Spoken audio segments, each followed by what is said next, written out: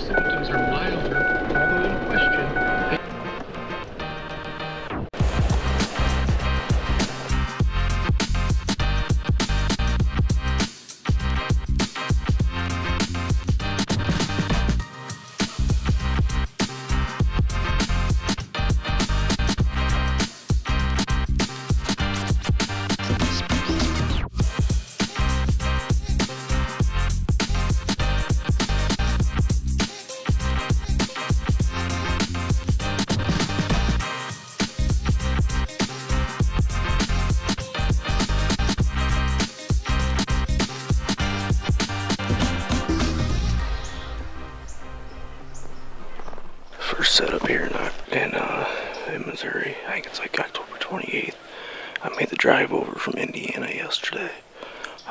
Gonna here for four or five days before heading back to Tennessee.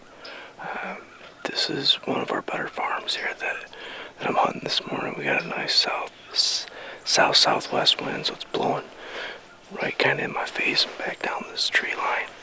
So I'm I'm hoping to catch deer coming between me and this pond back here.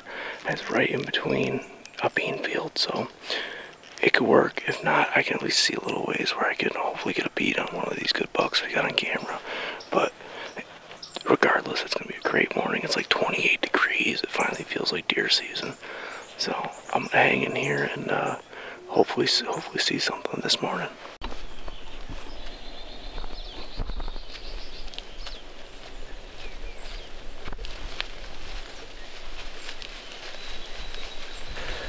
It's been pretty good this morning. I guess I uh, I saw a nice little 10 point, maybe like a like a 120 type 10, maybe 150 yards up on the other side of this bean field, making a scrape. I just I couldn't get any footage of it, and I've had I've had two two smaller eights like 80 to 90 inch, if that range, but they uh they both came in. The one the one caught my wind, but he didn't blow.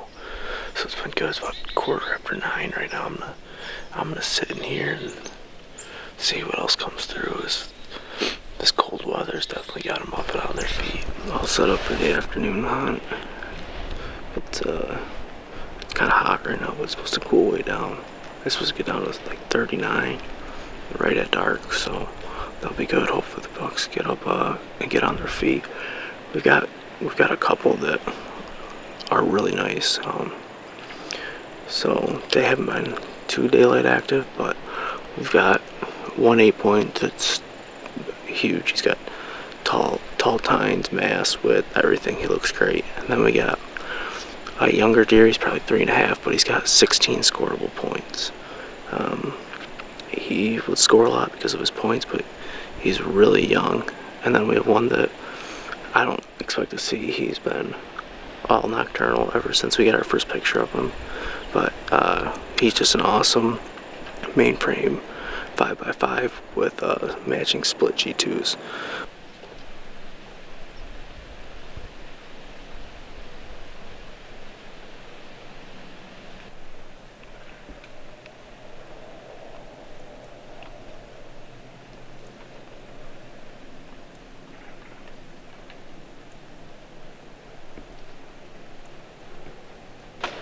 Set up here for uh, what might be my last set of this trip. I haven't decided yet.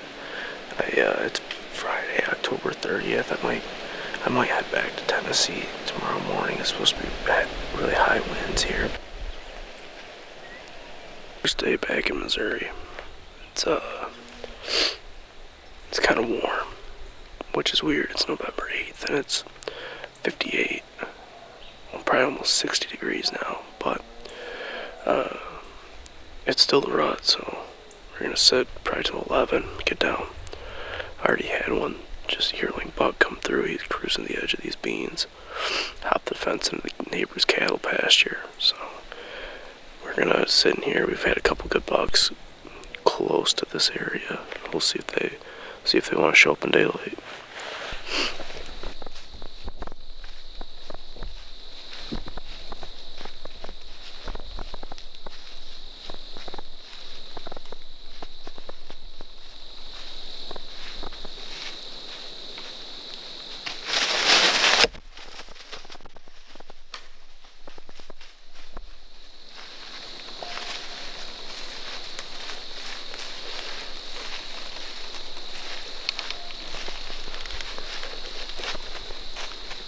Eh.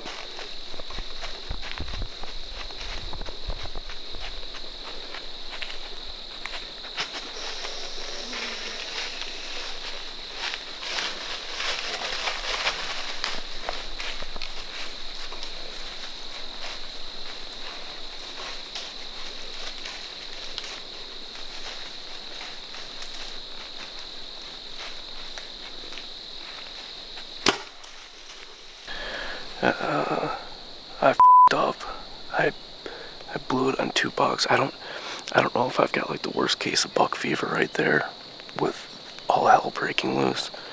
But I fucking I I missed that 16 point that we've had on camera. I missed him at like 30 yards. I, I drew on him at 10 and I'm sitting there and I'm following him the whole way and I I don't know if I rushed a shot or what, but the arrow went like three feet in front of him, and then this old gnarly buck that was hanging in the back looked like he had a, like a cactus growing out of his head. which I don't think we've ever seen before. He was at 20, 15 maybe, and just flat out missed him to the left. I, and it was the same same thing, like three feet to the left. I don't know what the hell happened, but I'm gonna sit here for a little bit, probably go grab my arrows.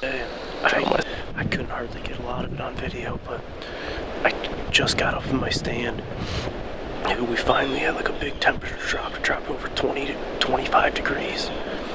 I got up here and I was sitting down, and all of a sudden this, this it looked, it looked like an 11 point that we had on camera. He comes flying by me heading south, and I'm like, that's weird. And then all of a sudden I hear crashing around. This doe jumps across the ravine in front of me, and there's five other bucks just on her ass, running her all over. And it, it's they're running all around the bean field right now. It's absolutely insane. So I, I kind of ran off for a second. I don't know how far they went or anything, but that was just an insane start to the day. It's only noon right now.